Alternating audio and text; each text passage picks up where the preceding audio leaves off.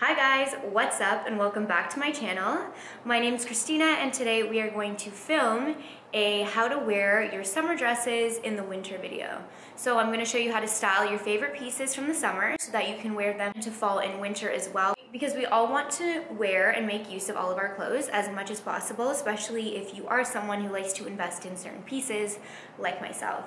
So let's get right into this video. Also, if you guys like me doing this sort of intro, let me know. I normally don't do intros for my style videos, but it's definitely something that I'll consider if you guys want to see it. So let's get started. So our first dress is a short little mini dress that has a V front and adjustable straps.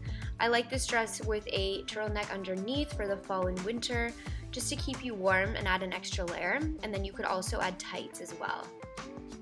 Next is a super sheer maxi dress. You definitely tights with this one, but it helps take away some of the sheerness.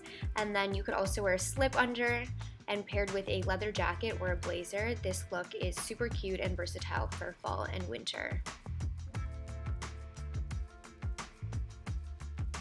Next is a black mini slip dress in sort of silk satin material. This dress is styled a few ways. So first you can just wear, it, you know, by itself with tights.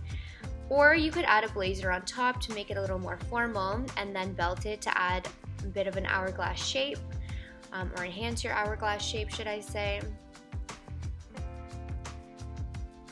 And then another look is with this vintage um, blouse. It has sort of a cheetah print on it and I think it looks super cute and elevates the look for sure. Then you could also add a turtleneck or a sweater over top. I like this sweater turtleneck because it has exaggerated sleeves and then paired with any sort of jacket, totally completes the look and makes it look like you're wearing a skirt.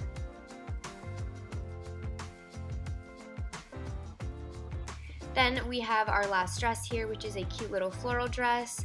I elevated this look for fall and winter with tights, knee-high boots, and an oversized vintage blazer that I got at the thrift store.